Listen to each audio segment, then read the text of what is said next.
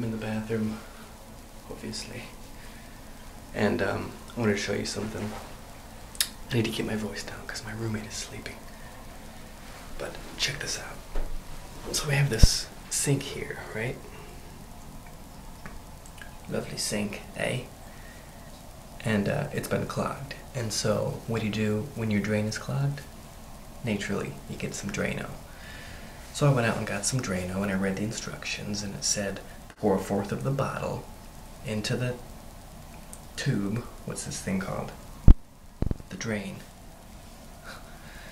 And wait 15 minutes and then pour hot water down it. So it's the hot water left.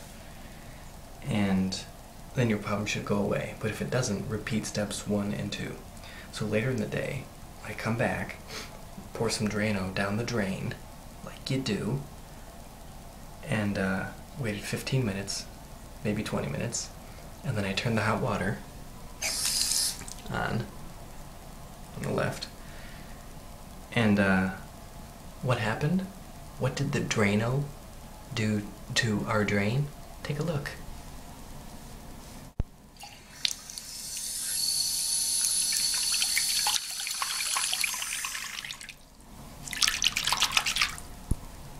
See that? Are you seeing this?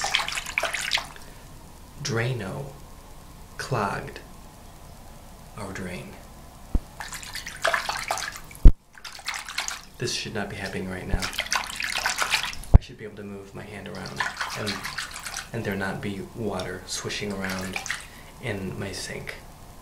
Um, so this is bad.